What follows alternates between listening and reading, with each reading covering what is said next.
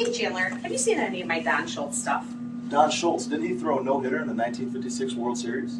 Chandler, no. He's one of the founders of IMC, a professor over at Northwestern. IMC isn't that a mar- or isn't that a sports agency? Uh, as, as a matter of fact, I think I saw it in the ESPN magazine a couple months ago.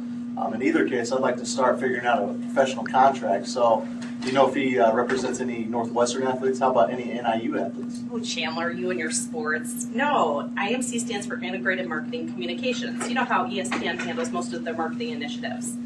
I don't think that he'd be negotiating any contracts. Marketing, really? I thought ESPN just covered sports. You know, like the worldwide leader in sports. Oh, Chandler, good luck with that contract.